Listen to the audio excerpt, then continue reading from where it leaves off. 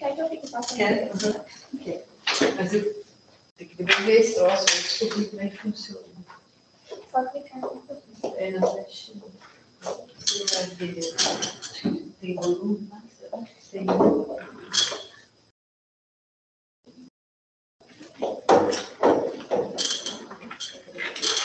Tá ótimo, pelo menos esse negócio aqui. É laser, né? Vai gravar. Será que ele joga dentro? Então, vamos lá. Pode passar. Tem que passar devagar, sabe? Porque tem uns que os textos estão. Pode ir. Eles entram devagar. Ai, como é que tira essa coisa de baixo? ali? Hã? É. Tem que clicar, acho que na tela. Aí na tela. É em qualquer lugar da tela. Na tela azul. Não. Meu Deus, que droga esse Teams. Foi eu ignorar lá para mim em cima? Aí. Vamos indo, pode passando. Isso já era arquitetura. Então, no princípio, olha que porcaria. Então- Esse aplicativo, né? Tá online. Hã? É, não tá tipo no aplicativo Teams, né? Tá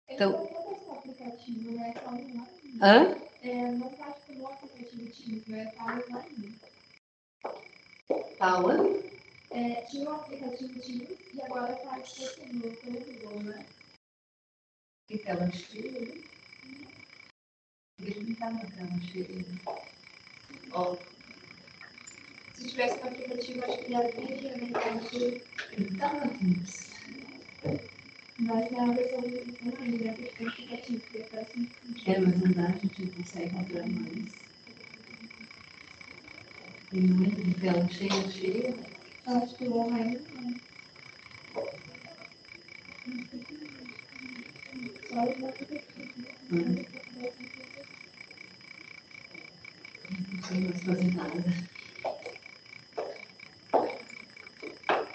Clica ali nas três bolinhas que a gente vê ainda. Embaixo. Na outra embaixo. Eu trago ela inteira, mas. né? Ah, é, mas acho que é menos pior. Veja se agora funciona o. o-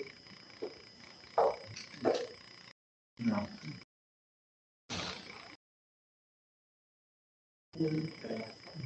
Talvez eu acho que por, ser- por ser online ele não. Não, não sei. Pode ser que funcione na outra. Pode ver se dá para passar aí. Tá, é, agora mas melhorou. Então, pode, ir, pode passando rápido isso aí, para a arquitetura, para a gente lembrar, né? De onde ela vem, a arquitetura antes do modernismo, que a gente vai entrar nos princípios, né, nos fundamentos do modernismo e no, no internacionalismo, no estilo internacional. Pode, pode deixar gravado isso. Ir.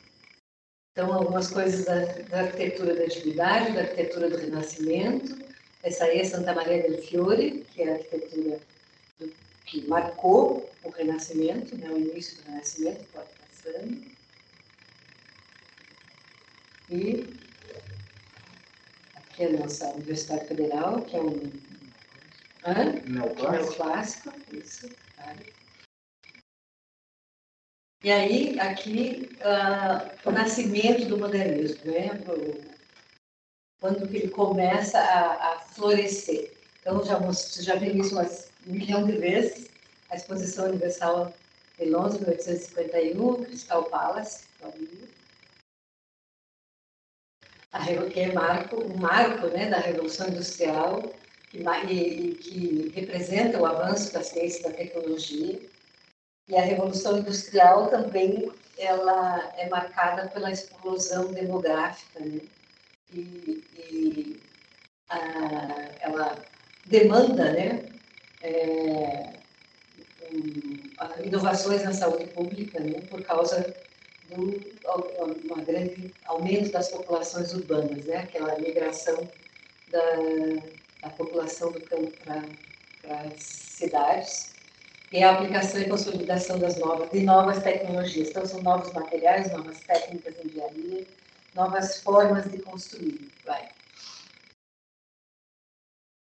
Então, as cidades onde as exposições universais foram montadas, por exemplo, não são só essas, né, mas as primeiras, Londres, Paris, Chicago, entre outras, né, porque foi até 1900, os, os anos 60, elas estavam acontecendo. É, esse é, foi o estágio mais avançado da civilização ocidental, né, naquela época, e convivia com desigualdades e marginalização de grande parcela da população. Né? Então, é, apesar desses avanços, estavam acontecendo grandes desigualdades nessa mesma proporção. Queriam, e essas exposições universais, elas queriam ser o retrato em miniatura desse mundo avançado e moderno cheio de espetáculos das ciências, das artes, da arquitetura, dos costumes e da tecnologia. Também levavam espetáculos de circo, aberrações humanas, né, e tudo. Acontecia nessas exposições universais. Então, ali imagens do interior das, das exposições, daí pode ir. E era a mesma coisa que acontecia hoje, que acontece ainda hoje, nas Olimpíadas, nas Copas do Mundo, eles fazem grandes avanços urbanísticos e arquitetônicos, os estádios olímpicos, os estádios de futebol, arrumam a cidade toda para receber essa grande população. Só que hoje é um mês, Olimpíadas e, e futebol lá eram seis meses que estava né, acontecendo. Então, elas condensaram o que o século XIX entendeu como modernidade. Então, o progresso construído sobre a ciência e a indústria, a liberdade entendida como livre mercado, o cosmopolitismo baseado na ideia de que o conhecimento humano e a produção seriam transnacionais e sem limites. Vai. Estou indo correndo, a gente trazer um monte nessa história. Eu disse, isso é muito interessante, eu disse que o século XX ele não terminou em 1900. Por quê? Ele terminou em 1914 com a eclosão da Primeira Grande Guerra. Quer dizer, só se falava nisso, né? A coisa estava como se um vulcão e é, ameaçando entrar em erupção, que era essa coisa que estava se formando. Né? Então, ela, ela começa lá em 1914 e termina lá em 1918, 19, né? É, então, diz que o século XX começou mesmo é, disse, né, em 1914. Então, a tempestade da guerra avança lá com tamanha violência que devastaria toda uma geração. Ninguém termina essa, já começa a outra. Né? A guerra, então, alter, alteraria as classes dominantes e varreria para sempre as velhas maneiras de pensar. Olha, então, coisas que mudaram o mundo, isso é, é, tudo isso aí é super interessante, porque a gente precisa entender o que estava rolando nessa época. Né? Não é só começou o modernismo, né? O que, que tudo muda, por que as cabeças vão mudando? Porque toda a revolução, no caso, a gente está tratando da revolução da arquitetura, ela, eu já falei várias vezes, elas começam né, no pensamento. Sempre, né? Então, lá, em 1905, Einstein publica sua primeira teoria da relatividade. A invenção do voo com propulsão a motor, a invenção do cinema, a, da comunicação sem fio, rádio, Marconi, lá em 1901. Entre tantas outras invenções que estavam rolando. Se lembra lá na época do Renascimento? Em 100 anos, quanta coisa estava rolando em termos de invenções, de coisas do pensamento, as grandes navegações. Só que lá era 100, aqui era 20, 30, né? E agora são um ou dois, né? Que as coisas rolam dez. Às vezes, um, né? Às vezes muda um monte de coisa. Um monte de novidade, né? Essa energia não funciona. a gente não sabe funcionar. Então vamos lá. Ali aconteceu em 20 e 30, né? Hã? Perdeu Volta, volta. Volta. Não. É, ele, vai, ele vai entrando sozinho, por isso que por isso que era importante o negocinho aí, né? Passa outra vez. Ele vai entrando sozinho, os textos também vão entrando sozinho, não foi? Aí foi. Então, no final do século XIX, XIX ainda surge o primeiro trem elétrico o metrô de Paris. Em 1902, Fro- Freud publica seu primeiro livro, Interpretação dos Sonhos, ó, da psiquiatria, fazendo cabeças, né? não é só invenção coisa física. Primeiras fotos nos jornais, então você- agora você sabe o que acontece no mundo. Em 1906, o telefone passa a ser usado no cotidiano. O Dom Pedro II foi o primeiro cara, né? Ele falou por linha telefônica, ele era um cara super inovador, né? É, Isso foi antes, né? Porque a, proclamação da República foi em 89. Então, Dom Pedro II foi antes de 89, ele já falou no telefone. É, Santos Dumont contorna com balão de número 6 a Torre Eiffel, os primeiros voos cruzando o Atlântico são realidade, primeiro carro de uso familiar, lá o Ford T, 1912 a primeira banda de jazz. Por que botei lá a banda de jazz? Porque o jazz mudou a história da música mundial. Porque é uma nova maneira de tocar música, ela passou a ser possível improviso. As pessoas dançar com aquela música enlouquecida, né? Foi um negócio. O jazz mudou a história da música mundial. A guerra interrompe, então, o desenvolvimento artístico, de certa forma, porque toda aquela comoção daquela coisa que estava rolando, da guerra, o medo, o expressionismo era por causa da guerra. Né? Esse, esse medo, essa, essa angústia, lá, o grito de Monte, é, é, cubismo, todos esses ismos todos têm a ver com uma guerra. Né? Então, o expressionismo, o estacionismo começa a ter repercussão lá em 1922. Ali, o arquiteto Le Corbusier projeta a Maison Citroën, uma casa estúdio, para ser produzida em série, exposta ao público e decorada com móveis disponíveis para compra por catálogo. Isso não existia, jamais se falava nisso. Casa era aquela coisa, né, construída, desenhada, marceneiros, é, tudo, era uma coisa é, artesanal. Coisa de, por catálogo, jamais. É, e ele que, aquela frase famosa, né, da, é, a casa é uma máquina de viver. Por quê, né? O, o, o pós-guerra, que destruiu-se quase tudo no mundo, no mundo lá, né, Europa, que os governos chamaram os arquitetos, vamos pensar, temos que reconstruir, temos que construir casa para Deus e o mundo, sabe Deus quantos milhões de pessoas.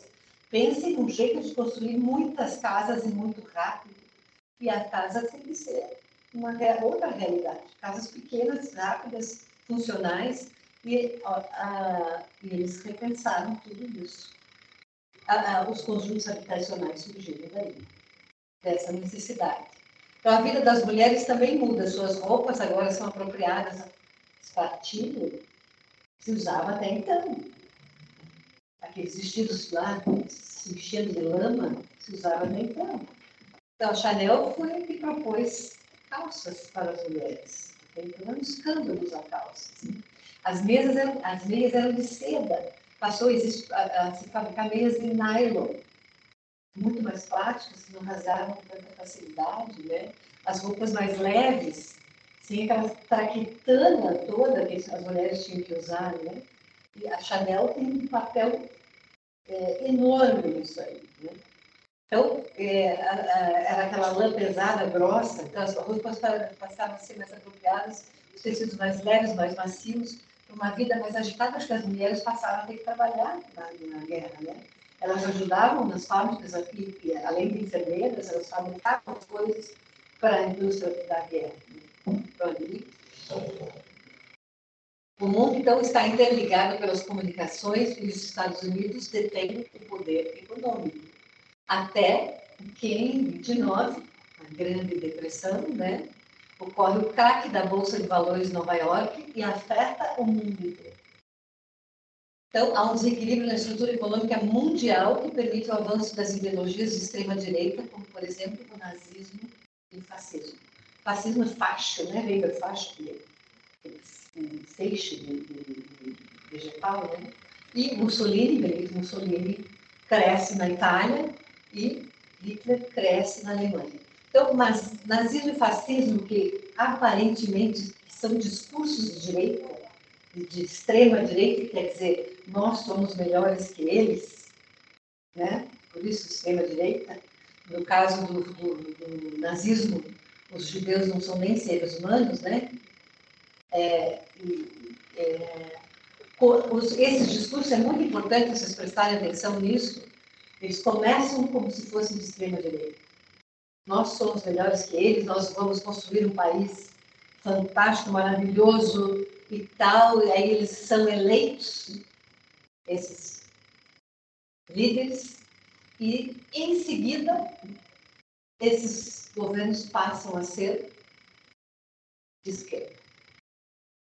Eles viram governantes totalitários, viram ditadores e o povo, esse povo que acreditou tudo nessa balela toda, passa a ser escravo. Tanto o fascismo quanto o nazismo. Quer dizer, não existe. Esses são sempre só discursos. Ou seja, não existe idealismo. Né? É só um discurso para se dominar uma horda inocente iludida, porque os dois lados viraram, os dois viraram grandes ditadores totalitários e todos eles viraram completamente dominados. Quem fosse contra os ditadores era morto no mesmo instante. Todos eles. Tanto faz. Viraram governos idênticos aos da Rússia comunista. Idênticos. Quem fosse contra o grande líder era morto imediatamente como Stalin, como Lenin, como, como Mao Tse-tung, como qualquer outro, como aquele chinês maluquinho da, da, da Coreia, completamente maluquinho, não sei como é que alguém pode se deixar levar por aqui doido. Então vamos lá. Em 1928, então, a criação do CIAN. Quem vai falar do CIAN, não sei quem é, que está lá, que vai ouvir o vídeo depois. Aí são os congressos internacionais de arquitetura moderna. Então, Congrès International d'Architecture Moderne. Então, entre os que participavam, os famosos são Hélène Manrot, Siegfried Gideon, Le Corbusier, Walter Gropius, entre outros. São os mais importantes. O mais importante que a gente conhece até hoje, Le Corbusier. Era o a estrela dos congressos internacionais de arquitetura moderna, para beneficiar algumas máximas dos congressos do ano. Para beneficiar o país, a arquitetura deve relacionar-se intimamente com a economia geral. O verdadeiro rendimento será, um, será produto de uma racionalização e de uma normatização. Então, por causa dessa normatização aí, que vem surgir quem vai fazer o trabalho do Team 10, depois eles ficaram meio saco cheio dessa normatização do modernismo, dos congressos dos. Aí o Tim 10, lá o Tim 10, está ficando cansado. Cada vez que surgem novos estilos, é porque eles ficaram cansados dessas regrinhas, tá? Mas até então, essas regrinhas do modernismo, os congressos internacionais meio que diziam, ó, nós modernistas trabalhamos assim, essas norminhas ali saíam desses congressos aí. O, o Walter ele estava mais lado da arquitetura do design, né? Da, da, das duas coisas. Ele é o fundador da, uhum. da Bauhaus, mas ele era arquiteto. Ele, ele era fundador da Bauhaus, ele, né, ele era o diretor, foi o primeiro diretor da Bauhaus, mas ele era um arquiteto.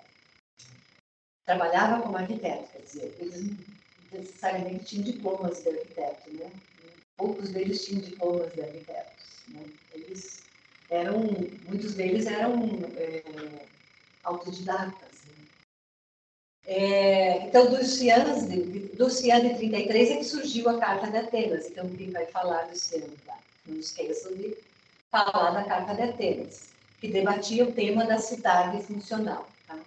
Para o urbanismo isso é muito importante. Então, vamos lá. Agora, alguns primeiros modernistas, vamos falar de alguns deles rapidamente, só passar, né?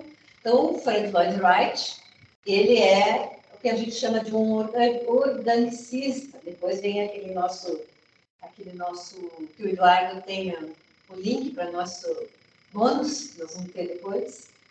Talvez caia lá, tá? Então, o Lloyd Wright é um organicista, um, um, um que trabalha com arquitetura orgânica. Então, vamos lá. O que seria a arquitetura orgânica? Ele trabalha com, pensando na, na, na, na terra, na, na, paisagem, principalmente, né? Na, na arquitetura prairie, que chama das pradarias, ele não é aquela coisa mais lógica do concreto da coisa como era o Le Corbusier e, ou, ou do ácido concreto como eu Oi? Oi, tudo bem? Tudo. Naquele dia, a nossa turma não teve que fazer alguma coisa para você? Oi? Boca cheia. Uhum, comendo. Aquele dia no centro, no passeio. A turma do terceiro precisou fazer um relatório. A nossa turma não teve que responder umas perguntas para você? Teve. Eu acho que teve, sim.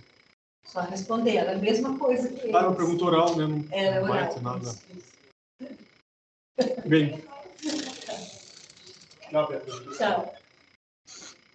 Então, por isso que ele é mais orgânico mesmo, né? ele está mais preocupado, a gente fala orgânico, com o, o homem, né? Com, por isso que ele trabalha mais com madeira, com, com até com ferro também, das esquadrias, mas ele pensa no todo, dessa forma, ele adapta a arquitetura dele com a paisagem, principalmente isso. Já, isso a gente nota já nas casas dele, né, principalmente, é bem diferente a, a, fábrica dele tem a ver com a luz, né? Aí ele, ele fez a, a, os pilares dele serem parecidos com árvores, né? Então, completamente diferente de uma arquitetura do Luiz Amelot, vidro e aço. Né? Não necessariamente o material tem que ser é... Árvores não, não. Não, não é natural. Não, mas é adaptado à paisagem, sim a proposta de cidade dele, que ele fez, a teórica, é, é casa é cidade jardim. Né? E a, a, proposta de cidade do Le Corbusier é a Brasília, que é uma cópia da, da Ville Radines do Le Corbusier. Então, é completamente diferente. E o Frank é americano, né? É americano. Vamos lá?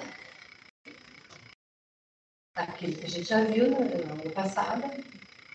Eu, pode passar reto, que a gente viu aquele mesmo vídeo da aula passada.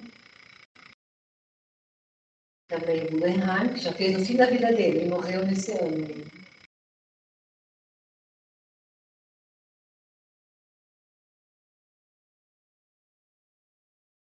Viu? Então, o Guggenheim você vai lá, vai subindo, né? Vai, a, a, as obras de arte estão na, na rampas, você vai subindo e vai vendo as obras de arte naquela espiral, né? É bem diferente dos outros. A, a, aquele, o, o Le Corbusier é o funcionalismo que se chama, né? O modernismo do Le Corbusier. É tudo funcional, né? Aquela coisa que ele, da, da casa é uma máquina de viver, é uma máquina. Tem tudo, você se vira, só pensa aqui, você é o mínimo possível aquele espaço. Né? Então, e a, a Vissavois é, é um marco, né? É, foi a primeira casa que a, a laje é usada pra, como ambiente de lazer, aqueles os cinco da arquitetura lá, ah, os pilotis, janelas em fita, a estrutura separada da, da fachada, planta livre, a estrutura separada da fachada. Cinco pontos de uma nova arquitetura. Pode ir. A Ronchan, a gente viu também, linda. Eu não consigo achar assim, uma semelhança entre você pegar ali, por exemplo, a anterior, né, com essa, assim, ah, foi o mesmo arquiteto. A minha disse que é a proposta dele de uma urbanística, né? E foi construída em mais eu tive, a oportunidade de conhecer esse edifício aí. É bacana, são, são, são é, aqui, dois pavimentos, flats, assim, né? É bacana a planta, são, é bem conservada, porque é, é importante, né? É um marco né? da arquitetura, coloridinhos, assim. Ah, aqui o Ministério da, da Educação, que é o projeto dele também, no Rio de Janeiro, que o, o, jovem Oscar Niemeyer trabalharia como desenhista do Le Corbusier nesse projeto. Móveis da autoria de Le Corbusier.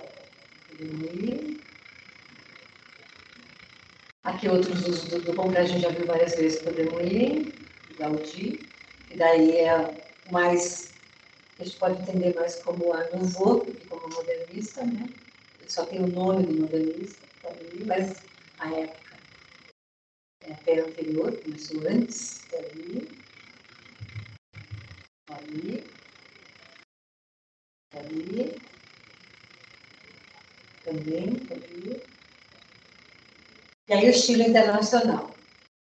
Então, durante o século XX, as expressões de arquitetura moderna se materializaram em diversos movimentos, entre os quais o estilo internacional. Então, é um nome dentro do modernismo, que é um, uma mãe né, que abraça, um nome mãe que abraça coisas que aconteceram dentro dele. Então, nos anos 20, então, distintas correntes modernas, como o expressionismo, futurismo, funcionalismo, meros ismos, né? Que convergiram para dar lugar a um novo enfoque arquitetônico, denominado internacionalista. A Bauhaus é muito importante nisso aí, tá? pode ir.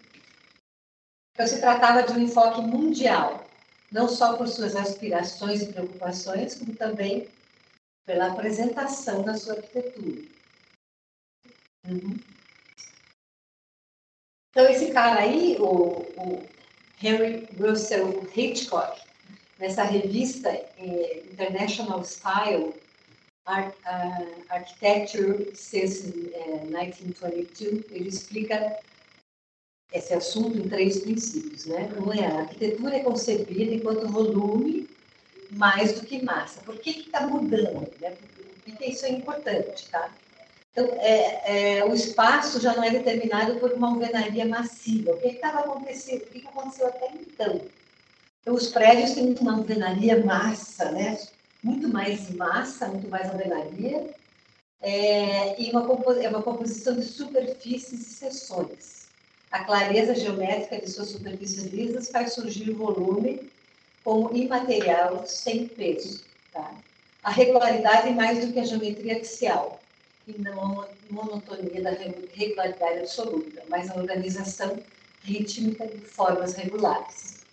A exclusão de qualquer ornamento.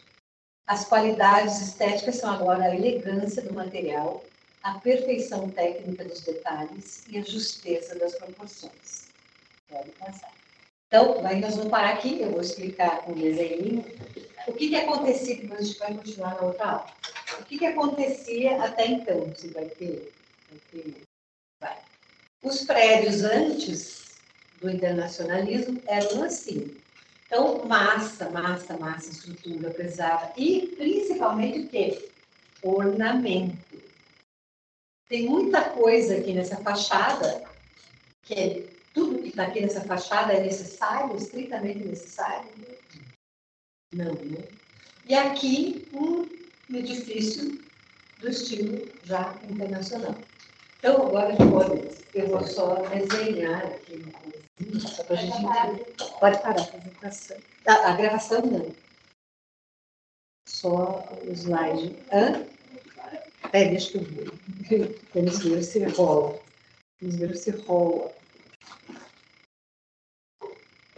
Vou compartilhar a Compartilhar,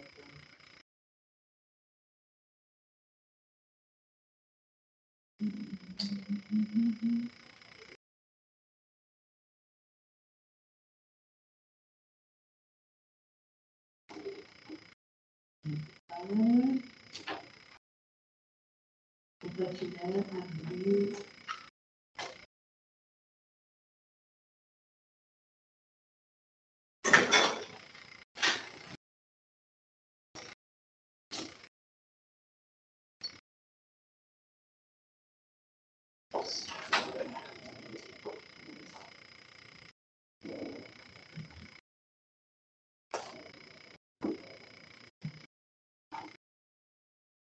Ali, né?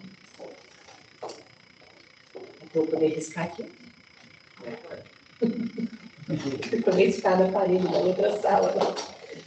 Então, antes, o que, que- o que, que a gente tem agora no estilo internacional? A gente tem Eu tenho que fazer a mão para É, aparecer. você tem que usar também. Olha, tem que ser aqui, né? Isso. Câmera. Aqui, aqui. Aqui, Ai, tá parecendo lá. A gente tem pilares. Bem perdidaça, né? E aí, o que que a gente vai ter? Lajes, lajes, lajes. E que vão ser preenchidas ou tapadas com. Você já sabe a resposta aqui? Vidro, né? Nossa.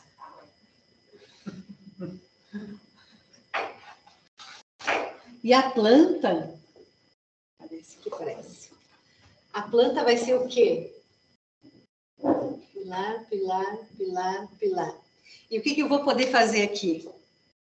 Dentro o que eu bem entender. E as multinacionais, as corporações, né? Elas vão preferir o quê? Isso aqui ou aqueles prédios lá? Acho que está gravando desse jeito aí, né? Cheio de salinha quadradinha. Isso aqui, o que aqui o, estilo internacional vai chamar de planta livre. Né? De acordo com a necessidade, faz o espaço. que você- Então, hoje isso aqui é. Como é que chama isso? Call center, né? Não, não chamava assim, não tinha, não, era, não tinha isso lá, né? Mas aqui- esses prédios puderam ser transformados num call center hoje do, do, do ano 2001, né? Mas foi feito lá em 1950, 60. Mas puderam virar call center, puderam virar uma universidade, puderam virar. Pode virar o que for, né? Isso se espalhou pelo mundo inteiro, mas foi mais forte nos Estados Unidos e veio para as Américas. E foi muito criticado isso nos anos 60, 70, depois 80, porque os arquitetos deixaram de, de usar suas habilidades originais, vernaculares, que é quem vai fazer falar sobre arquitetura vernacular, ou seja, os seus conhecimentos técnicos da sua região, porque é, passaram a copiar esse estilo aí, porque as empresas, as multinacionais, passaram a preferir isso. Vidro, vidro, vidro, vidro, concreto, concreto, é, porque era o que se preferia e nem sempre era adequado, por exemplo, a um país tropical. No nosso caso, né, por exemplo, tudo que vem a, está abaixo do, do Equador, no hemisfério sul, é quente, né? E espe- fachadas espelhadas e coisas assim, se faz até hoje aqui, né? Então, ainda resiste essa arquitetura e nem sempre ela é indicada. E se sabia fazer isso antes, porque o estilo internacional meio que chegou aqui só depois dos, dos anos 50 e 60, né? Chegou tardio já, né? E começou a se fazer, se fazer, se fazer. É. E, e antes se sabia fazer uma arquitetura fresca, ventilada, não se precisava de tanto ar-condicionado, né? Se sabia usar uma ventilação natural e tal. Então, a gente continua, mas... Só me lembro, para a gente continuar daí, Tá desse slide. Então, aquele quiz vai ser para a aula que vem, a gente vai adiando, adiando. Tá? Certo.